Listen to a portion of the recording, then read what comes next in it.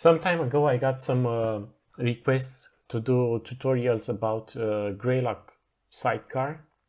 You can run um, uh, agents like um, nxlog, winlog, or Filebeat without the need of or without implementing uh, the sidecar. Uh, but for those requests that came uh, to make a tutorial about the Graylog sidecar, here it is. Uh, just like the name says here, if you're going to the official web page uh, for the Graylog documentation, you'll see that Graylog Sidecar is a lightweight configuration management system for different log collectors, also called backends. And the Graylog node acts like a centralized hub which contains the configuration of the log collectors. So that means that actually with uh, Graylog, you're pushing some kind of configurations to your agents, nxlog, Filebeat, or Winlogbeat. And then these agents on the machines, they take that configuration and uh, they start, uh, ba or based on that configuration, they start to send log messages to Graylog. And the way the um, Graylog pushes those configurations is via the API. In this video, we were going to focus on this side right here and on a later video, we were going to focus on this side right here. So first we will start with Windows and then we will move to Linux. Over here in the installation, uh, we have um, a link to the um, page from where we can uh, download uh, the sidecar. So we were gonna get directed to GitHub we, in this case, we were gonna look for the exe file, this one right here. Uh, what I'm gonna do, I'm just gonna copy this link right here, and I'm gonna do it directly on the agent. Uh, sorry, uh, on the Windows machine. But before we start uh, configuring something, um, you need to make sure that your times match. Because if they don't match you're not going to be able to see your messages in Graylog or you might be able to see it but after a very very long time. So over here is um, 442 and uh, it's actually EDT time or uh, Washington time or New York time and um, on our Graylog server, let's check it. We have 642.28 EDT and is the same here. So everything runs perfectly uh, regarding the time. So they are synced via NTP, both uh, machines. And right now let's open Google Chrome and let's download uh, the Graylog uh, installer for Windows. Okay, so now that is finished, let's install it. We will gonna click next, then agree. And right here it will gonna ask for the URL of the Graylog API. So we will gonna put HTTPS because on our Graylog server, the URL, you see it here. So I can just copy and paste this one right here to make it easy. Yeah, so right now we have HTTPS and then the IP followed by calling 9000 and then forward slash API. Uh, here you can enter uh, a name for this instance. I'm just going to leave it to default. I really don't care about it for the purpose of uh, this video. And right now we will need an API token. To create your API token, you need to go to your Graylog server, go to system, authentication, and right now we have a part with uh, sidecar system user. So we will gonna click on more actions and we will do edit tokens. And here I'm gonna say Windows. Windows 10 and I'm gonna create a token. The token is created. I'm gonna click on copy to clipboard. Then I'm gonna go to the Windows 10 machine and paste the API token. And I'm gonna click on install.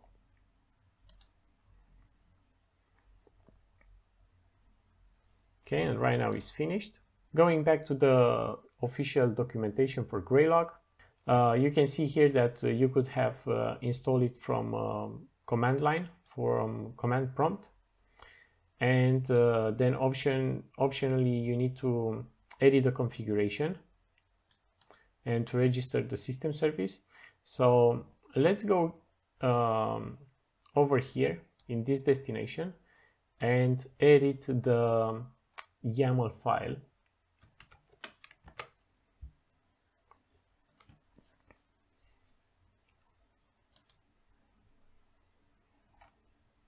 So I'm going to click on WordPad. And over here, I would uh, like to change a very small thing, the TLS uh, uh, verify. Uh, we don't really want to verify the TLS connection, so we were to put it to true because we want to skip it and by the way you can also do like um, you can encrypt the, the communication between the uh, Graylog uh, sidecar agent running on the backends um, to the Graylog server but for the purpose of this demo I'm not gonna do it. And here is where uh, it will gonna look for the default uh, collector binaries uh, for um, for Sidecar, by default, you have uh, Filebeat and Winlogbeat uh, .exe um, after you install Sidecar for Windows. And uh, additionally, you can also do Filebeat, you can do Packetbeat, Metricbeat, Heartbeat, Auditbeat, NXLog, and so on. But for this purpose of uh, this video, I'm just going to focus on uh, Winlogbeat. Let's close this file after we have saved it. And let's go back to the Graylog server. And this time we will gonna create an input, a bits input. And I'm gonna do select input, bits, launch. We will gonna leave it to default. This is the port 50, uh, 5044. Um, we can do global if we have multiple Graylog nodes. And in the title, we can put something like uh, bits, or we can say sidecar. Why not? And then I'm to click on save. Let's check if uh, our input started and it did. Uh, then let's go to system and then sidecars and we will need to go to the configuration page and over here there are already created some uh, log collectors uh, let's check for example Winlogbeat and this is how it looks like. This is the executable path the execute parameters uh, and so on. And you can uh, you can do whatever you want with it. Uh, for the purpose of this video I'm gonna change the um, destination uh, because we have this is our Graylog IP and this is what we want to push to the backend to the Windows 10 device. And this is the port that uh, it will use to send the logs. And I'm going to click update. And by the way, you can uh, create your own templates. You can do whatever you want pretty much with it. And for example, here, if you're thinking to create uh, your template, you need to be careful related to uh, process management. If it's a Linux one, you need to choose foreground execution for Windows, Windows Service, and then also here you need to change the operating system type, Linux or Windows. And then you click on update. Okay, it's updated. Let's go back. and here we were going to create a new configuration uh, for Windows Sidecar and we can name it Windows Sidecar. We can also change the color. Let's choose something with uh, blue. Uh, the collector we will use Winlogbeat on Windows. And you can see here the template for the configuration, which is here. You can also do a preview if you're interested. Okay, close, and then we will gonna create it. Okay, uh, and then we will need to go to administration part.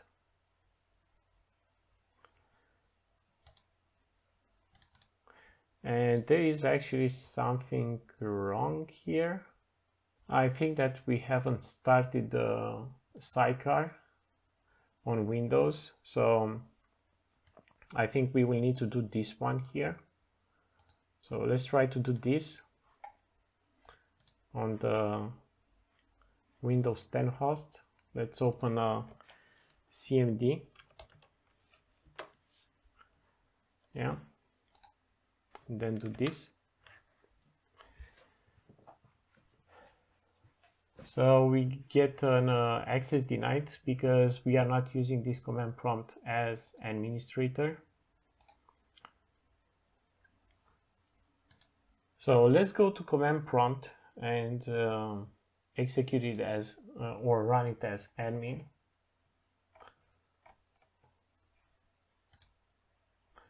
So we can go here and check for um, command prompt.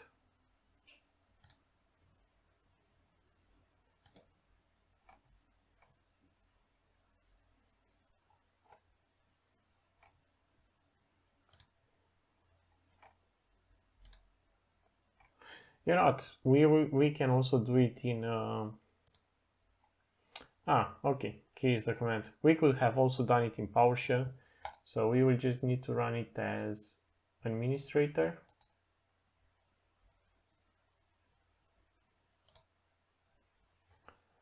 Click yes. Right now let's uh, let's paste the command to start the service for sidecar. And it says that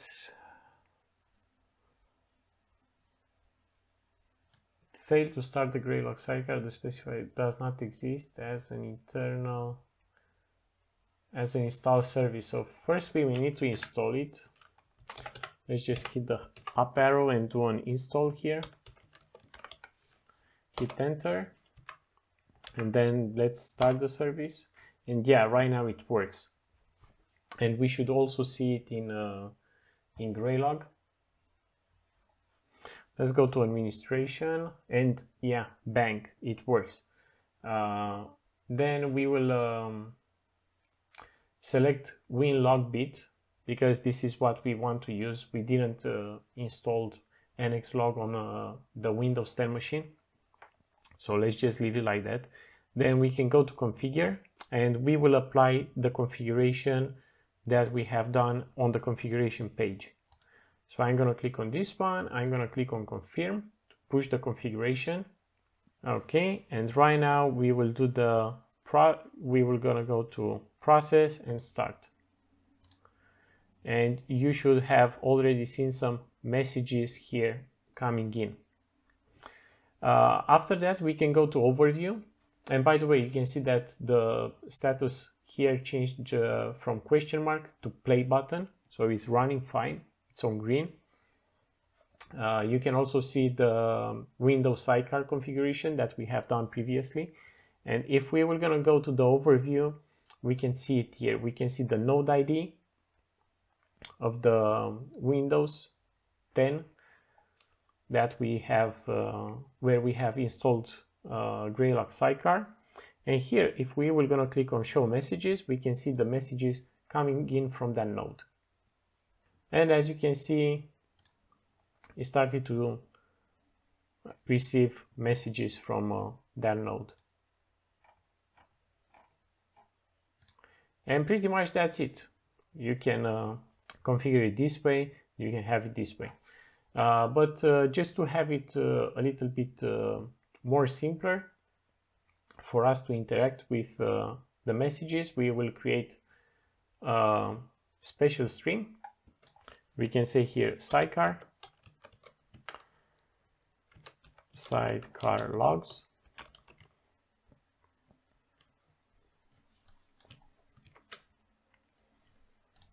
We were going to remove the matches from all messages stream. And here we were going to do a rule uh, we will say that it requires a field presence. And we can say here bits type. So for example if there is any kind of uh, message coming into Graylog which has the field of bits type it can be routed to this stream. And we were going to click on save then we will do a, a message must match at least one of the following rules. Click on ok. And click on done. After that we will we will start the stream.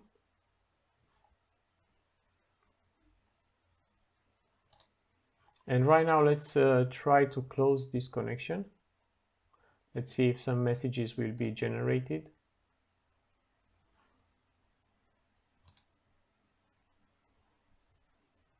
And yeah, some messages were generated. Uh, and you can also see it here.